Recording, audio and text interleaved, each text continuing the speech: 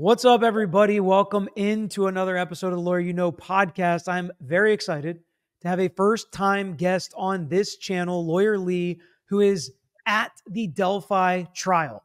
She is there watching Richard Allen, watching the witnesses, watching the prosecutors, watching the defense lawyers, and most importantly, seeing the jurors and understanding what's happening in this case, bringing somebody there, boots on the ground. We talked to Andrea last week, and it's really important that we have lawyers who are seeing what the cameras are not showing in this case behind the closed doors so we can see what that process and hear what that process is actually like.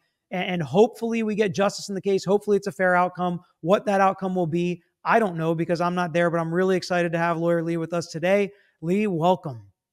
Thank you. I'm excited to be here.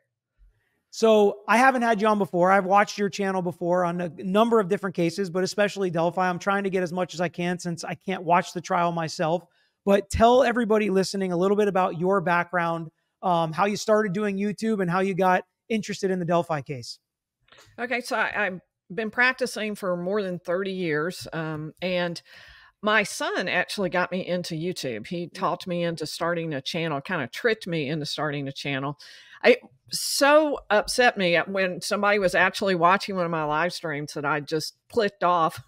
and I just I, I went off YouTube for like six months or a year. But about Depp v. Heard, I really got interested in teaching people because I saw a lot of questions out there and I realized people didn't fully understand. So that's kind of my bent is just helping people understand how the law works. For the Delphi case, the reason I got interested was because of that Franks memo.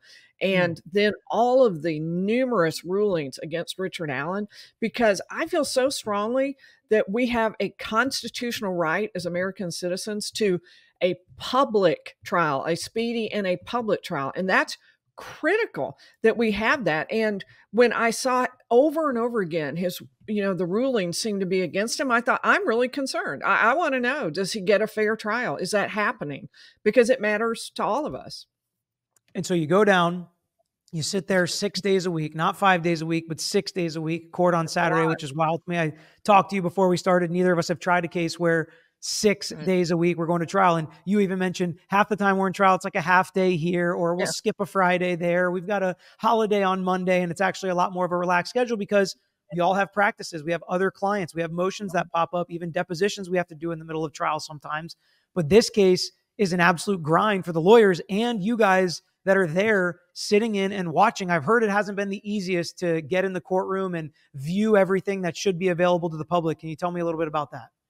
Yeah, it's it's truly not easy. And in fact, for the first week and a half to two weeks, all of us who were really interested in the case, we were staying up we were getting up we were being down at the courthouse there was one morning i arrived at 3.45 a.m and that was not early enough and I didn't get into the morning session. And you know, I just put that out. I mean, I was I was down to you know getting there at two in the morning. I'd do my live stream. I get an hour and a half of sleep, and then I'm down there again just to be able to get in to see what's supposed to be a public trial.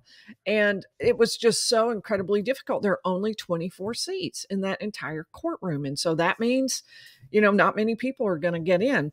And but if you're going to have coverage, you really need to see the whole trial. You really mm. need to be able to present it to people. So, you know, I just sort I think people on the channel saw how hard I was struggling to do that. And people just started to write and say, you know, I'll sit in line for you. I'll stand in line for you. And it's like crowd surfing for uh, YouTube. I it's unbelievable. I just kind of like threw myself back, and all these people are there, and they just catch you, and they show up, and they wait in line for you, and we kind of got organized around it after I um, accidentally sent both Mike and Michael to the line one night. Somebody else got in charge of the administrative stuff, and it's been amazing. So they sit in line, and I'm able to get in and just be there during the trial itself, and then come home and tell people about it, and it's amazing how much people want to know about that case and they recognize there are only 24 seats let's put some lawyers in there who can tell us about what's happened yeah i think number one so many people focus on the trolls and the negatives and the bad people on the internet which there are plenty but it's really cool to have a community that does lift each yeah. other up carry each other help each other out especially when it comes to justice and learning about the justice system and trying to do what we can because I tend, I used to think nobody watched. I'll just say me. I, I used to think nobody watched this channel that that like was involved in these cases and whatever it may be. But now I think I mm-hmm. have a different understanding that I think there are people in that courtroom who know who you and Andrea and Bob and all these people that are there watching for the right reasons. I think there are at least a few people in that courtroom who know exactly who you are. And while they don't have the cameras there keeping them accountable, I think they do have some of the YouTube lawyers there, hopefully keeping them as accountable as they're going to be, because it has sounded like there's some issues there, and we're going to get into them. Um, but we heard from Andrea a lot of the the first week of evidence and you know the ballistic stuff and maybe some of the weaker evidence from the state, the interrogation, which sounded like it was uh, pretty decent for Richard Allen. But I really want to focus with you on the confessions. We knew they were coming. Um, I've tried cases on both sides that have confessions, prosecuted cases and defended cases that have confessions. I don't think I've ever had a not guilty verdict on either side when there is a confession, especially a recorded confession. So I know there are issues with it. And I know the defense is trying to build context around them, but just give me your perspective of being in the courtroom, listening to these different confessions from Richard Allen. What's the jury thinking? What's kind of the feeling now that that has come out since we heard from Andrea week one? They, I think, are the crux of the case. I think you're exactly mm-hmm. right. When you have a confession, that's the first go to issue that the jury's going to be paying attention to because those are the words of the defendant saying, I did it. And he said it over and over and over again. We heard before the trial got started, the prosecution talking about 61 different confessions. Now, wow. they decided not to present all of those, they only presented the ones from the guards, not from the other prisoners. And the ones from phone calls he had, and then the ones from his psychologist, so the prison psychologist. So mm-hmm. there have been a lot of them. And, you know, a number of them you could just dismiss because, and uh, dismiss, that's too strong a word, but they at least fit within the defense argument. The defense argument is this guy is being treated so barbarically in prison that he's being forced into a confession. He was held in solitary confinement for 13 months in the same cell, let out at most three times a week for an hour and once a month to see a psychologist. And his psychologist also came to see him, but I understand it was only once a month. It may have been more during periods when he was under an unaliving watch. But some of them, like for from um, April 8th, there was one. I'm ready to confess. I swear to God, I killed Abby and Libby. F you, Ryan. No, but who's Ryan? And then then he says Fox Trot, Foxy Lady, Fox something. No one in the courtroom caught. He was yelling, and then he was drinking toilet water. He was drinking a bottle of hot sauce, urinating on his sleeping mat. You know, all in one day. Just bizarre, crazy behavior. Ultimately, it became so bad they gave him involuntary shots of Haldol. Hmm. But there were three that were a little bit more than that, and where it wasn't as obvious that there was a psychotic break going on around it. And so I, I, thought I'd also tell you those three because I think they were pretty important. Um, the uh, the there were there was one to his psychologist Monica Wala, and he told her a lot of really specific things about what he said happened with the crime. That he went to his parents' house, bought a six pack afterwards instead of going to lunch with the family. He drank three of those. He bundled up. He went to the trail. He laid in wait. He saw the girls and he followed them on the bridge. He says he thinks a gun, a bullet fell out of his gun there at the bridge. He ordered them down the hill. All of that fits with the crime and he was going to SV them, and that was his mm. plan. But a van suddenly came up, startled him, and he didn't end up, ended up not following through with his plan for the girls. Instead, he mm-hmm. caught he cut their necks and killed them to mm. get rid of mm-hmm. the evidence against him. That's really specific. Now the prosecution has latched onto one fact in that, and that's the van. They said he saw a van and it startled him. And they're trying to prove that a van went right down that road at that very time. And in fact, I mean, they have a witness who says, I drove my van down that road. On the other hand, uh, the defense is trying really hard to get in an FBI interview of that guy saying, Yeah, I didn't come straight home from work, meaning he wouldn't have been there at that time. Mm-hmm. The defense is saying these are facts that he knows because of the fact that he's present um, and getting discovery. And so he's finding out about the facts of the crime. These aren't him actually knowing these facts or knowing anything unique about the crime. He's in this. How are they getting that out? State. How are they getting those details out? Uh, you're talking about the defense. Yeah, how are they getting well, the fact that he's getting this in discovery? Because they can't testify. Richard Allen hasn't testified. So how are they getting that information out that he would have seen this in discovery? They were the ones telling him this. Richard Allen knew these facts from somebody before he confessed to them. How are they getting that information in? One of his behaviors related to tearing up his discovery and throwing it around his cell and stuffing it down the toilet. And so that much is in. That's one of the reasons they changed from having inmates to guards watching over him. So we do know about that. And okay. I they have put their paralegal on the stand um, twice now, and I thought he was going to testify. We sent him this. We sent him these things. I think he still will, but he hasn't said that yet. Okay, so so, so that's something that you know is coming, but we haven't heard the evidence of that yet. That Richard Allen knew those facts before he confessed from some other reason than he was actually there doing it. We've certainly heard that argument. We've heard that argument both in questioning of witnesses and in the fact, and in the in the opening statement, then in the questioning of the witnesses, and now we're hearing it. Lots of talk about it, but no, I don't think there's evidence he had photographs of the scene. I don't think we have that yet.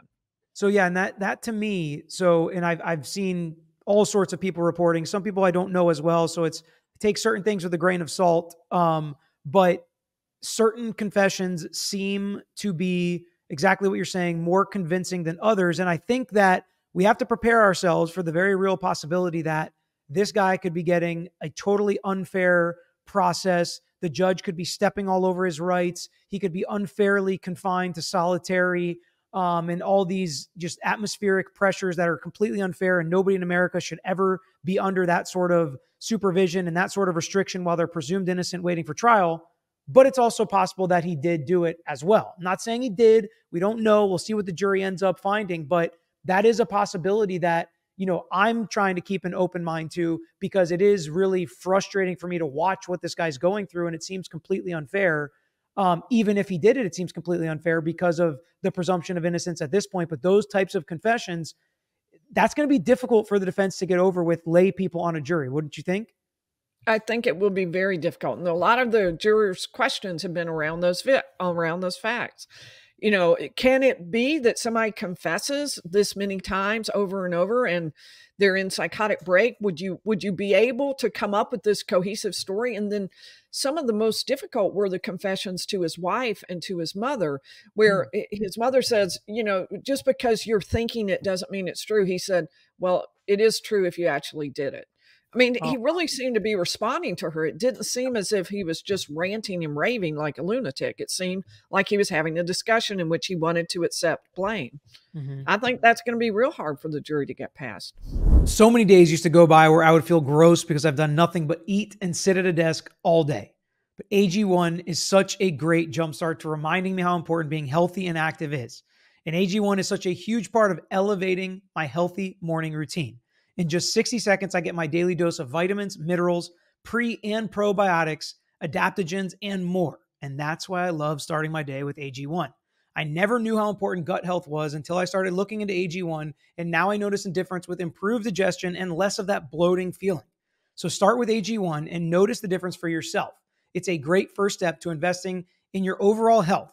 And that's why I'm so excited to be partnering with them.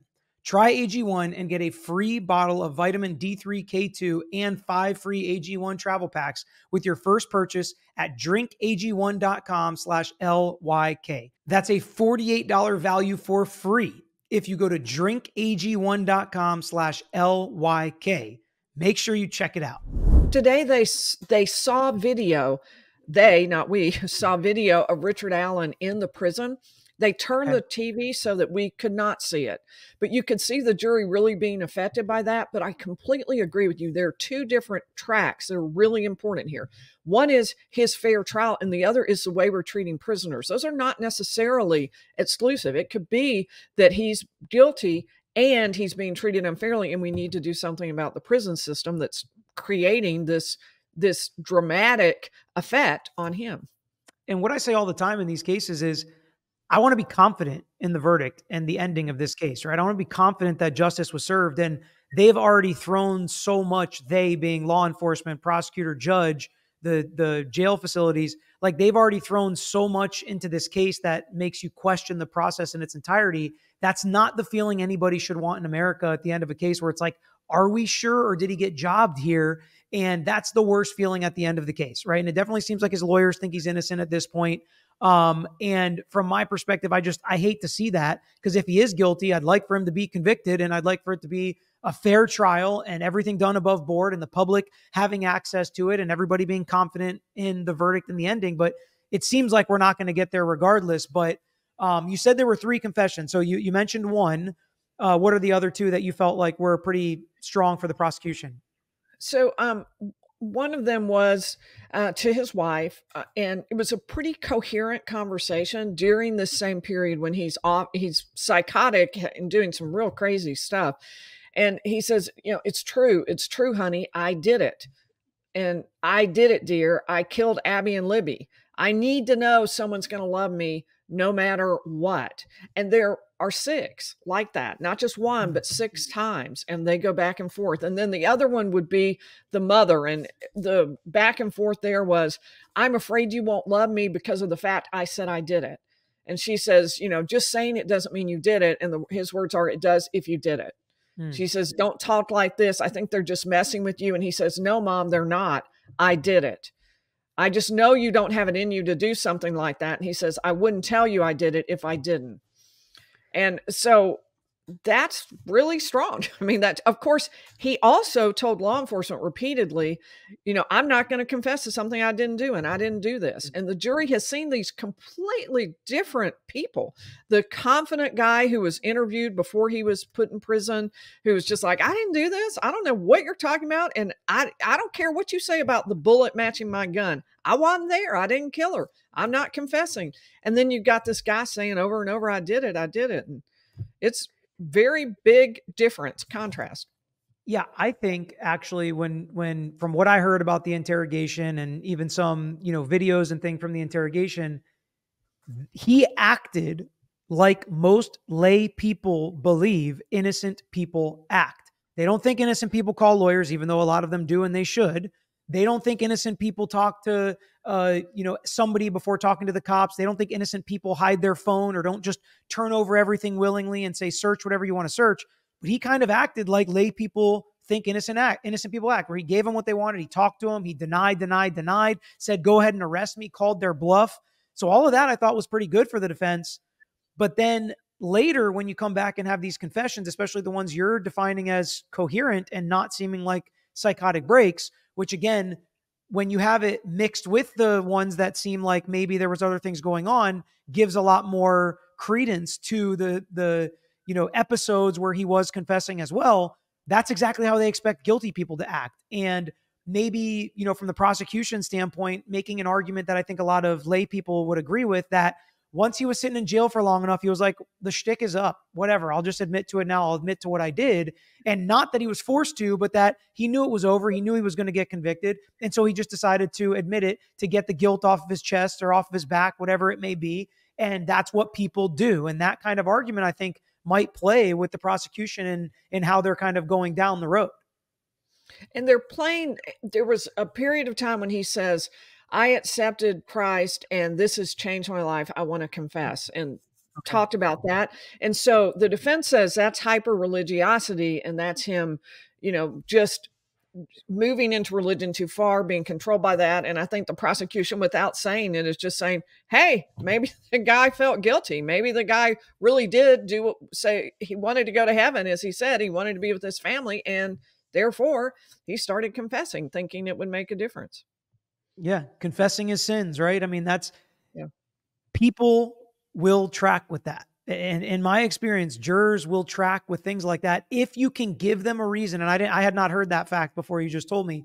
Um, but but people will look for a reason as to why did he confess then, and that's a pretty good reason, right? Whether you agree with it or don't agree with it or whatever, they're at least giving the jury a reason why he confessed then. The defense is too, right? They're saying he's been abused, He's been in these horrible conditions for 13 months. He's a different man now than the confident man denying. They've got arguments. I get it. And, and it's probably on the spectrum of false confessions, a very small minority of, of confessions are false confessions or proven to be false confessions. But the ones that do, they've got a lot of the evidence that the defense has in this case that they are trying to present to show these are false confessions. And before we get to the defense's case in chief, is there anything else that you think we need to talk about with the confessions or even the end of the state's case in chief? It seemed like it went a little quicker than people were expecting.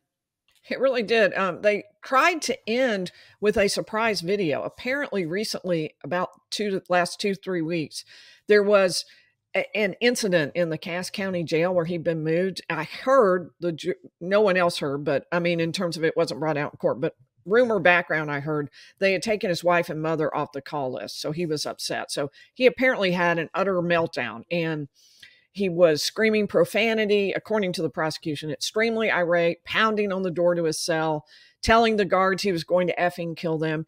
And the prosecution wanted to play that in court. Now, to me, that's an easy no.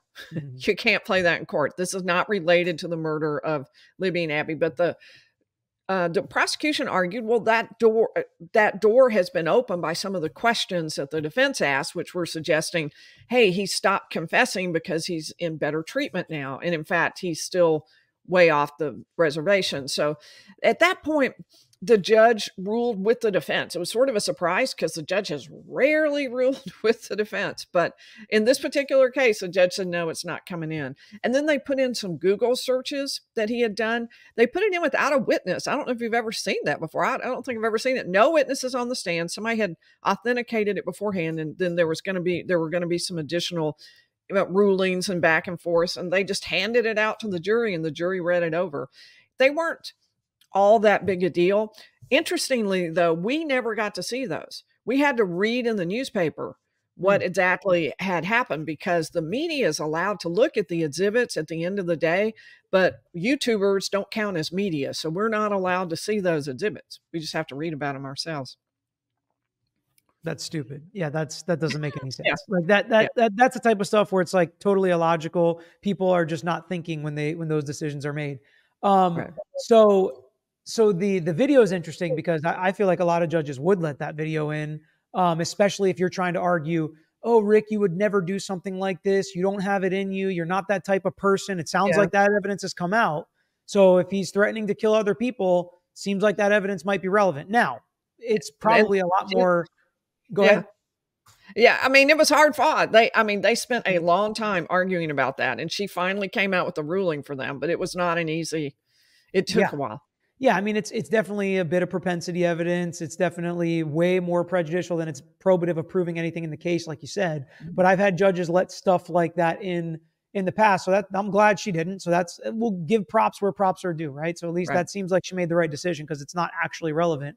Um, so the state ends. It seems like not not a big surprise, you know, home run ending, but I, think some of the last evidence was these confessions, which seem right. like the strongest part of the the state's case. It's definitely not that bullet. It's definitely not the strongest part of the case. Right. Um, but then the defense starts. So what was kind of the defense's initial um, evidence that they're presenting in their case in chief? And did it seem to you like they had to change their um, strategy or their plan because the state ended a little bit earlier? Because sometimes that can throw off how you present evidence. And I've talked to a lot of juries and different or jurors in different cases after the fact, and they're like we couldn't figure out why they called this witness or why it was out of order or things like that. Was there any of that at the beginning of the defense's case? I don't know if it had to do with timing, but they it definitely didn't seem like it was a strong start. It seemed like there were mm-hmm. it it's been very slow. The witnesses are really hostile to them. The prosecution is objecting all the time. The judge is ruling against them. It's just such a slow slog. And the very mm-hmm. first witness out of the bat, they wanted to contradict that guy who claimed he had the van driving down the road with this report where he had spoken to an FBI agent and another agent and said, Yeah, I I in fact, you know, didn't come home right away. So I wouldn't have been home till five o'clock, not three o'clock, which would have been the time that it would have to have been, something after three. But the guy the guy got on the stand very first witness and, and he won't agree to that. You know he's like they even show him the piece of paper where it says inside the piece of paper this is what he said. He was at the interview and he's like yep i fully remember that. That's refreshed my recollection. I have no idea except i think he came straight home was like, whoa, whoa. So they're they're trying to get the FBI agent. But the problem is the FBI agent is in Texas and he's in charge of election coverage for the FBI in Texas. Hmm. So he's not available. They asked for him to be able to come by videotape, and the judge said, no, that's not a good enough reason. That plus the fact that he has medical conditions, even those put together, she said, nope, the you can't present him by video. So I don't know if they're going to be able to offer him at all. Yeah, they may not be able to get that fact in. Speaking of illogical, it's like we can do everything today with technology, but for whatever reason that anybody would ever say no to legitimate right. evidence being presented to somebody accused whose life is literally on the line, but because you didn't, you know, make a good enough argument for somebody to present by video, which like most courts, that's completely right. normal. And, you know, you have to have a reason to not let them appear by video if they're not going to be able to appear. I mean, that just is so illogical to me. But okay, so that's how they started. What else has the defense presented? So they had um, the former fire chief talked about got up there and he he couldn't he wouldn't agree to any of the things they were asking him and they mm-hmm. must have impeached him 10 different times the jurors were kind of like wow. at one point he's like on this question, I guess I would say no. What page? because he knew he was going to be impeached. And uh, it wasn't even all that important a testimony. It's just started off really slowly. What I think they want to focus on, and they haven't put it all together, is the timeline. If you look at when at when Libby took the video that everybody believes is the abduction, the beginning of the abduction of the girls, and when the cell phone of Libby is found underneath Abby's body the next day. It stops moving just 19 minutes after that video.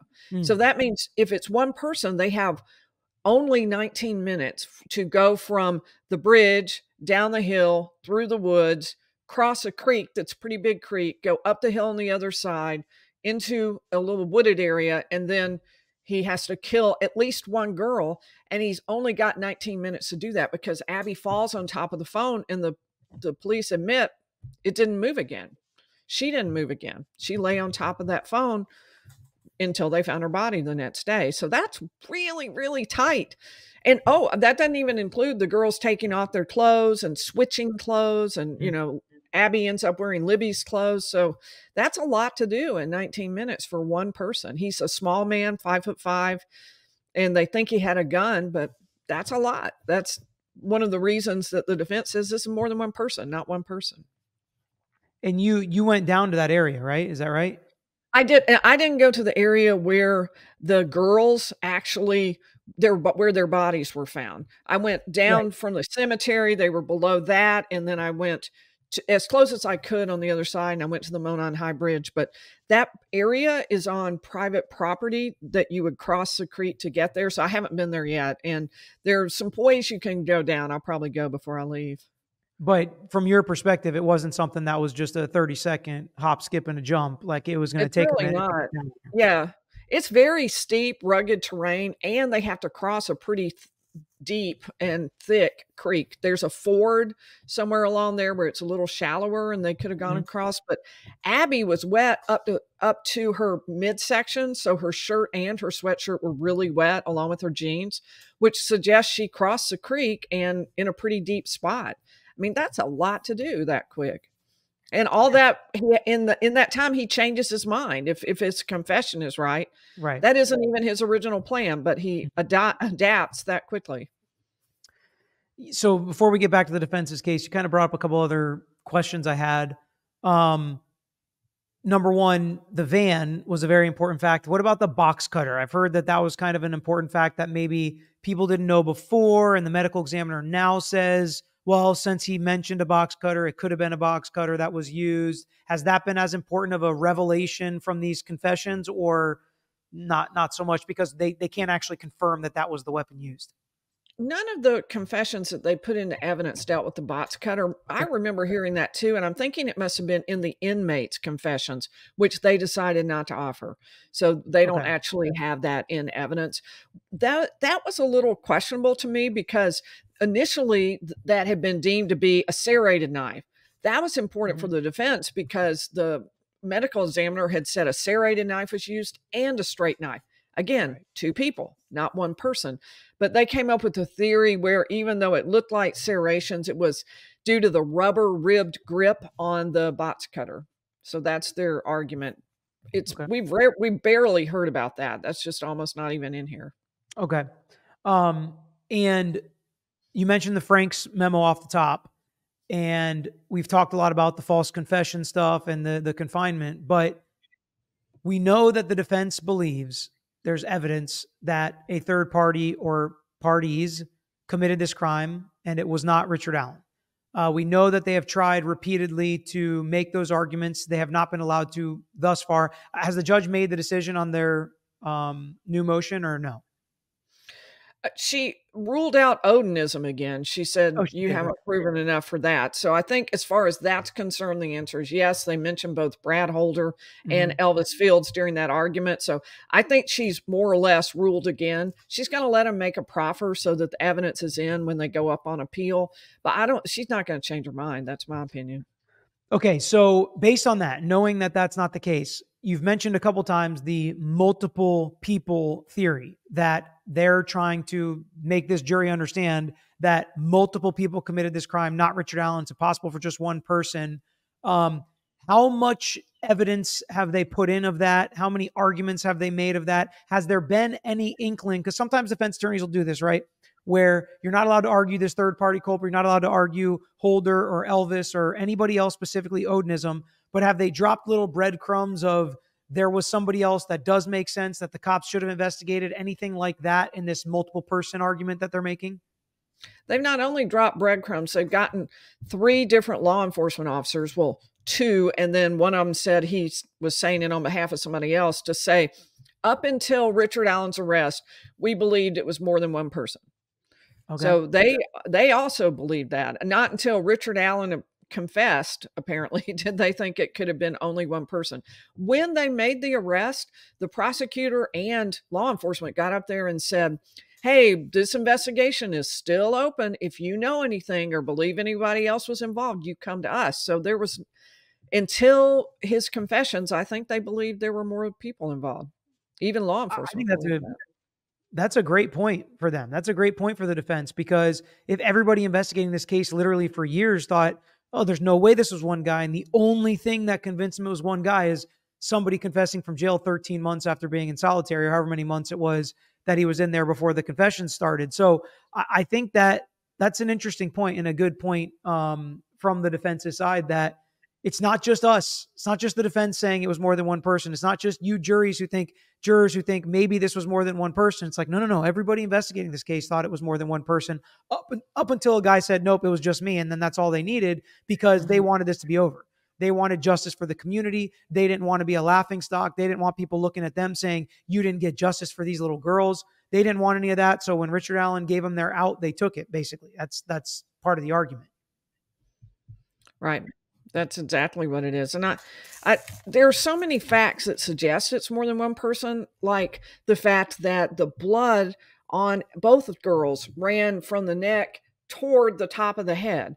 Well, that doesn't happen if they're lying flat on the ground as they were found. It would mm-hmm. run to the side, out this way, or down their bodies if they're standing up. But instead, it ran up. So that suggests they were tilted upward. So that means somebody's somehow holding the girl and cutting her neck, but she's tilted in that direction. And that was true for both. And it, you know, it just, a lot of things that just don't make sense. I mean, how's this small guy going to hold this this girl this way while keeping the other from running off or screaming at according to the timing right then there were many people right there around the trails and the sound carried. So if they had screamed or yelled, it probably would have been heard. And the defense has done a good job of getting everybody there to say, I didn't hear anything. Yeah, I, I really think it's it's all just so sad in the end when you think about the victims involved and where this is all going and how even if there's a conviction here, there's just so many questions that are not going to be answered for this family and then when you think about Richard Allen's family and uh, his wife's been in the courtroom, right? And what has that been like? Um, has she had any noticeable expressions on her face throughout the evidence? What are what are your observations of that? She cried just nonstop through the confessions. Uh, she cried uh, several times. Anytime that something comes up, you know, related to his incarceration, his arrest, the interview, she has cried a lot. And through the confessions, she was just, it was the audio tape and she's crying on the audio tape and she's right there in person and she's crying hysterically. The jurors noticed. One mm-hmm. juror looked over there and, and just eh, they had her on the interview and she's over here crying and he realized who she was because you know it was the same person. And then the next day all the other jurors came in and so a lot of them were looking at her during the confessions as she was crying. So i think that they put that together. We've also seen similar things from uh, libby and abby's family particularly when they put pictures of the scene and the body up. It's i mean it's been a very difficult trial on many levels. And the jury's sequestered without their loved ones around, dealing with these videos and pictures and this heavy dark, scary, brutal testimony and evidence coming in. I mean, it's just it's it's it's really tough to think about the headspace that they're probably in. I mean, thinking about everything you're going through and everything you're doing, and you get to come home, you know, call anybody you want to, talk to people on YouTube, watch some TV when you go to sleep, and just to think of what they're going through is it's a really tough situation to think about how they're perceiving this whole trial. And I think one of the coolest things about having you in the courtroom is you can actually see the jurors. And even when we get to stream, we don't see the jurors, right? We only see everything else right. that's going on in the court in the uh, trial. But while you're watching these jurors, I think you've already mentioned that they're they're looking over at um, Richard Allen's wife. Uh, what other expressions have you you know learned anything from? Or they're allowed to ask questions? And I've heard they've asked a bunch of questions. What are you learning from the way they're looking at this case? Do you feel like they have a lean yet based on some of their questions? I don't know if you followed the Take Care of Maya trial, but it started to be very apparent which way jurors were leading, uh, leaning based on their questions. Anything like that in this case? They've asked really technical questions and very specific. Some of them are great questions. You hmm, that's a really good point. Someone should have asked that during the trial. Good job. And but for the most part, I don't feel like I have a sense of where they're headed on these. They asked one witness who was not an expert but had experience. She was a psychologist as well, and they asked her a whole lot of questions about the confessions and they wanted to know what you know could was it possible to be linear when you were in psychosis and what but they basically wanted help interpreting and understanding the confessions. Those were super important to them so i know that's what they're focused on from those questions. But they have a lot and of I questions. They want you know go ahead.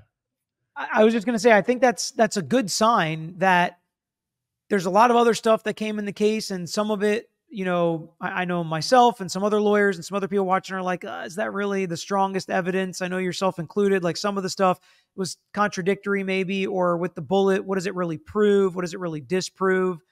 But I, I think it's good that the jury is focusing on the confessions and it's going to be their job, whether we like it as lawyers or not. Just like you said, they came up with questions the lawyers missed. I love that because when we focus group before trials, or even when I'm talking about trials on YouTube, as I'm sure you do as well, they come up with points that you just didn't think were important or maybe missed. And what the jurors think is important is, is how it should be. And whether we like it or not, they are the finders of fact. They are going to determine were those true confessions? Were those false confessions? Was his mistreatment causing some kind of psychotic break and he just said it because of that treatment? Or did he mean it? They have the impossible job to try to look at all the context and all the other parts of the case and determine what what is up with those confessions. What is the answer? And they're going to have to make the determination at the end. You know, there's one thing different about this jury. I'm curious whether you've ever had this in a trial. I have not, but they're allowed to talk to each other now about anything that they hear at the trial. So they're they have to be all together. They're not supposed to do it in little pockets or groups, but if they're all together, they can talk about the whatever they just saw what the witness said they can talk about the videos they can talk about the confessions. I'm i'm not familiar with that. I've always had judges tell you know tell the jury not until the end.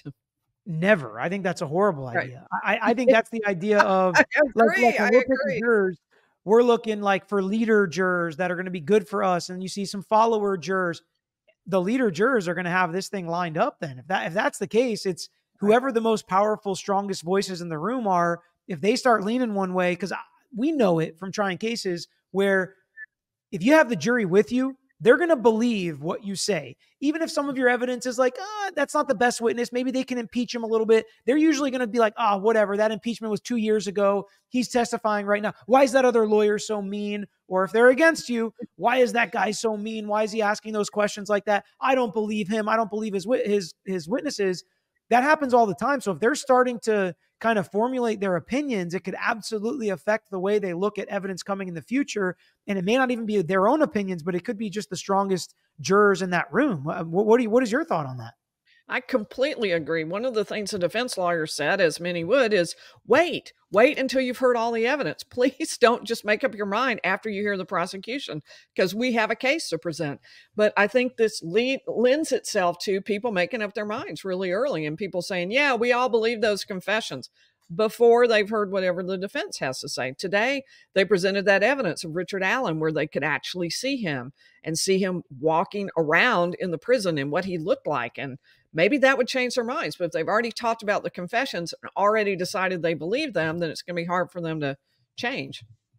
Eh, how hard is it to change, right? How hard is it to change your mind? So we go in that back room and you're like, I don't know. After listening to the defense, I'm not sure. I'm like, Lee, we talked about this at lunch two weeks ago. You were on board. You knew it. Remember that one where you said, I mean, that's that's tough to get around because then, especially if you're a non-confrontational person, which they end up on juries all the time and the other person's very confrontational. They'll be like okay you're right. Yeah that's fine. That's fine. Yeah we're good with the com-.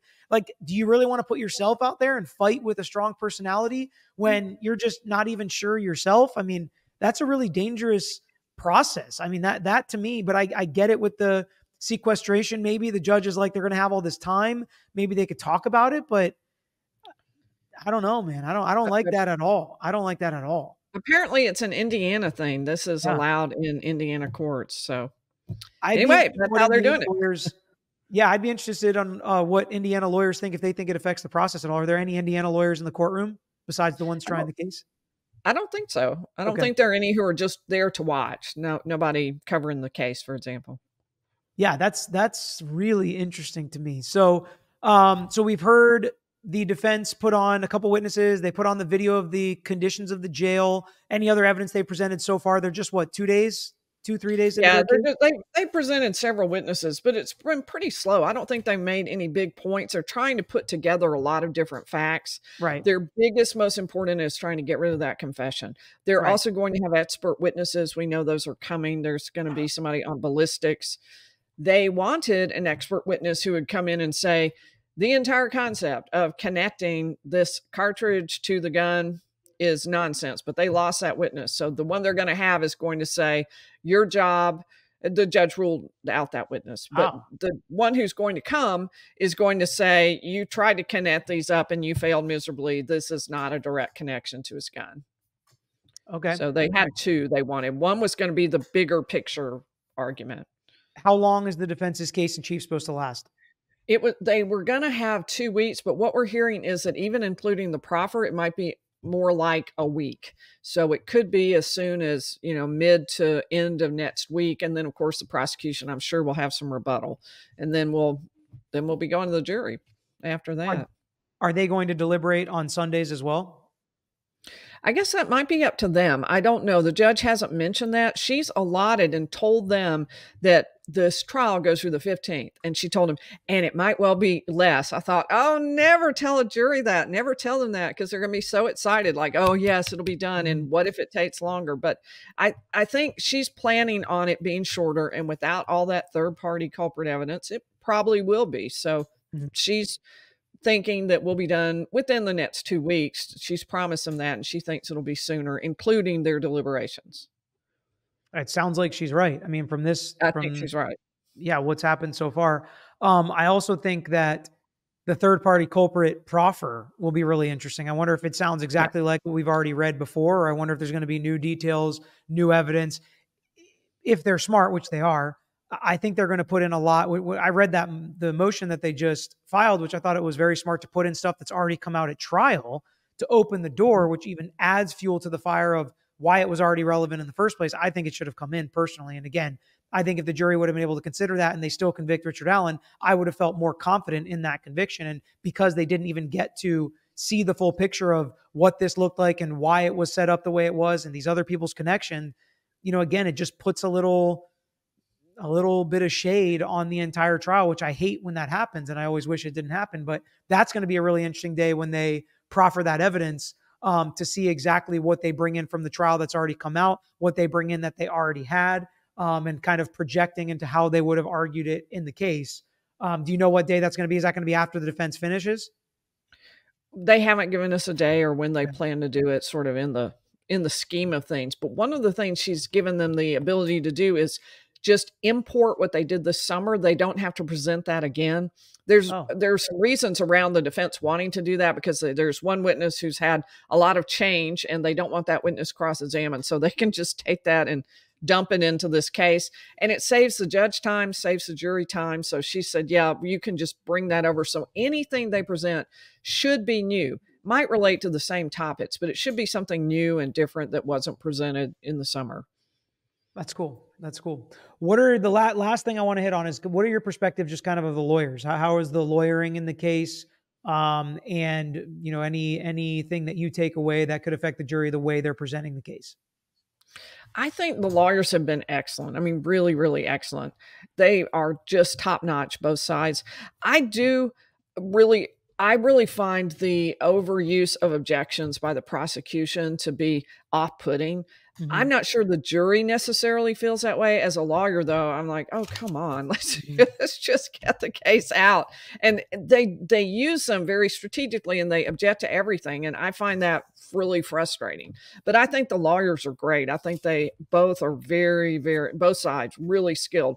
They each have three lawyers per side, uh, two men and a woman on each side, and and they're they've divided it up and they've been really good. It's been it's a fun trial to watch. You know, when you see really skilled lawyers doing their work, it's you know it's a pleasure to watch that. If you if you, if you're into that and you like it, yeah. And I you've mentioned also a couple times that they're winning a lot of those objections. So sometimes the jury can be like, man, the defense must really be screwing up if they're having to call them on it and they're losing all these objections. So oh, last question actually that I said the last one was, but the judge, right? So we've all had our feelings about the judge and some decisions that she's making. What is the presentation in front of the jury? Is it the same? Does it is she showing disdain for the defense? Um, does she seem very heavy-handed in favor of the prosecution, or is most of that happening outside the presence of the jury and she seems pretty balanced in front of them? In front of them, I would say she seems pretty balanced. She's very deferential to the jury. She's always respectful and kind to them. And really really the amount of drama that's inserted into the actual trial is pretty small considering what we know went on in the background all the motions to recuse the judge when she threw the lawyers off. You really don't see that in the courtroom. You do see mm-hmm. it in the rulings. Yeah yeah if, if they're if they're picking up on all that stuff it's sometimes it can uh, make a difference. That's that's for sure. So Anything else? Anything else you think is important? That's all the questions that I had. I appreciate you running through everything. I mean, it definitely feels like we're there and we get so much more information hearing from people in the courtroom than just like reading some tweets and doing some things here or there. So I, I, I appreciate what you guys are doing. Well, thank you. And I just feel like this case is really important because I think it's sort of a test case for how we treat people and how we conduct mm. trials and whether we believe they're public. So I'm so glad. I really appreciate your putting this on your channel. I know you have a big reach, and I think it's great that people will find out more about it. Well, thank you so much for joining me. And anybody wanting to find Lawyer Lee, that is her name on YouTube. Lawyer Lee, the handle is at Harvard Lawyer Lee. We didn't even talk about Harvard. Usually that's the first thing we talk about is somebody that went to Harvard. So that's pretty amazing. Um, and on Twitter, it's at Lawyer Lee W. Anywhere else people can find you where you're active? Is there anything else, Instagram or anything like that? Nope, that's pretty much it. Cool. All right. Well, you guys can all find her. Please go give her a subscribe, follow, like, all the things, and definitely check out her coverage of this case because you get a view inside the courtroom that we usually only get with cameras. Um, and it's this is a case we need to pay attention to as a nation. Um, these are ways that we affect change, and we're seeing it happen in other cases where the media and the public literally have an effect on cases like the YSL case in Georgia. And this could be another case like that. And just imagine if there were no cameras in that case and that might be what's happening here. So pay attention. Uh, let me know what you think in the comments. Give this video a like. But that's all we got for now. Until next time, we're out of here. Thanks for watching another episode of The Lawyer You Know. If you enjoyed the episode, please hit the thumbs up and share with your friends who may be interested here on YouTube. And don't forget to subscribe. You can also follow us on Instagram, Twitter, Facebook, and TikTok. And don't forget to check out the Lawyer You Know podcast with new seasons dropping every quarter. If you have a case you want to talk to us about, if it's a personal injury case, wrongful death, catastrophic injury, car accident, or slip and fall case, please email us at lawyeryouknow at gmail.com. And of course, all these links I just mentioned are included in the description below on this episode and every episode. So until next time, this is Peter Tragos, the lawyer you know.